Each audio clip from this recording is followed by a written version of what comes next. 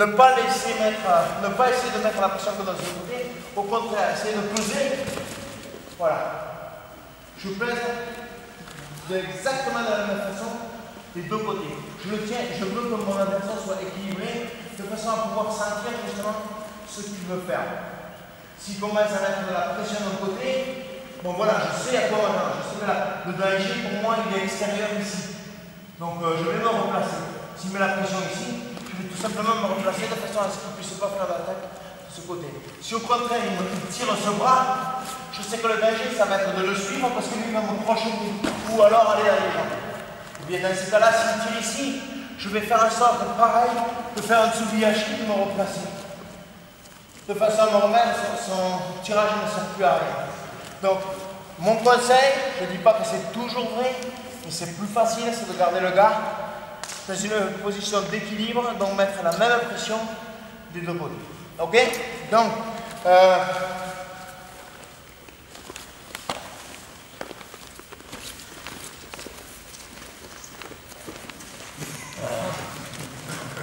Vous êtes ici, le... ça arrive très souvent, le gars il sait que quand vous êtes face à lui, vous êtes très dangereux. Donc euh, il ne va pas en chercher. Il va combattre par exemple euh, le 4 août euh, Chelson. Il ne va pas essayer de rester de face. C'est un lutteur. S'il se met face à face avec un lutteur de niveau mondial, il va, il va le jeter au plafond là il va falloir qu'il lui présente au contraire, il va voir qu'il se, présente un peu comme un judo, un peu plus latéralement. Peut-être pas la jambe trop avancée pour éviter la single, mais pas comme ça. Parce que si vous êtes face à face, face à un mec de un lutteur, il va, il, gagner le combat. Comme quand vous faites de la montagne, si vous êtes face à face face à un combattant de montagne, mais il va vous faire mal. Il vaut euh, trouver une position intermédiaire. Voilà. Donc du coup, c'est la même chose. Et donc vous vous, retrouvez souvent dans le cas où le mec justement n'accepte plus de se mettre face à vous. Voilà, il va se décaler. Dans ces cas-là, alors voilà, il y, a, deux possibilités. On va prendre ce décalage, le premier, le premier. Donc il, se présente jambe gauche en avant. Dans ces cas-là, je vais venir avec le bras opposé. Un. Ici, si c'est un kimono, je prends la manche, je tire, je vais chercher le haut du kimono et je ferme. Je rajuste cette position, ici un peu plus haut, je tire et je vais chercher la scène. Et là, on n'a pas de commande. Donc je suis ici, je viens chercher avec ce bras en premier. Un, deux, je vais chercher le coude. Et trois, je vais aller essayer de replacer ce bras dans mon dos, de bloquer ici. Ici, je peux décider où il va.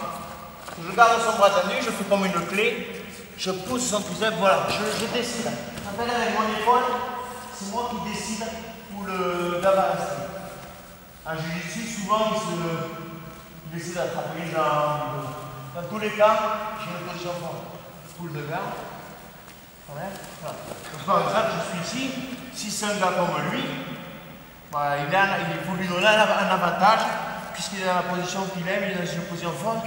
Et de plus en plus, de plus en plus, les gars du Jiu-Jitsu se mettent à travailler du dessus.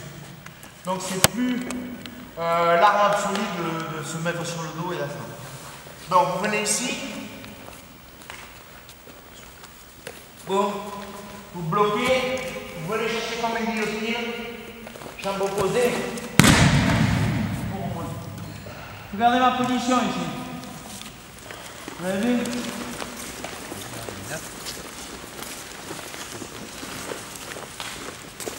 Je suis placé directement pour la soumission. Le faire, he's going to do it, he's going to do the, the submission. Okay? Donc il va vous montrer lui les détails de la soumission. Okay? Moi je vous ai montré le scénario basique avec le départ en submission. So you do the, you start with the submission, Boom. Regardez bien, très important comment il, il serre au départ et comment il serre le poignet. Passez de ce côté. Il ramène la hache. Il met vraiment une pression énorme avec tout son côté euh, latéral gauche. Et en fait, déjà, je suis étouffé. En fait, il m'étouffe avec ses côtes. Parce qu'ici, c'est juste une contraction de biceps, il n'a pas encore tiré le bras. Je suis déjà... Euh, je, manque de clarté. Je, cherchais le mot, en fait, c'est parfait, c'est exactement ce que je voulais dire. Now submigation, c'est... Yeah, no, now you do the submission. Oh, submission.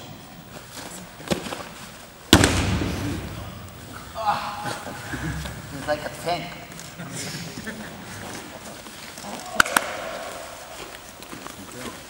But I do like from the top or from the bottom? I need to roll you no? No, it's up to you after the submission. Let me do. You do you do uh, the submission the way you want.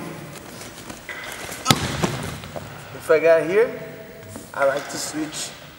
Vous avez vu, il change directement la garde ici. Mm. Il prend que la tête, il laisse le bras. Ok. Voilà, hein? On l'apprend souvent, euh, la guillotine tête et bras. Et lui, même quand il l'a, il est bien placé. Il change toujours pour euh, la guillotine seulement avec la tête. C'est vrai que c'est pas juste un étranglement, ça, ça fait aussi une clé de nuit. Ah, uh, um, the guillotine with the with the arm here inside yeah. is good for for short arms. If you have short arms. Okay, si vous avez des petits bras, c'est bon. Le problème, c'est que si vous n'avez pas de petits bras, arms, it's not good. If you have long arms, you gotta like squeeze so the guy put the elbow back, and then you change it. So and you change and then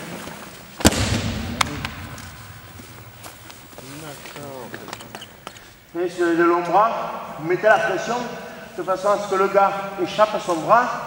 Et dès qu'il a échappé, dès qu'il s'est échappé, en fait, vous pouvez faire la guillotine seulement sur la nuque.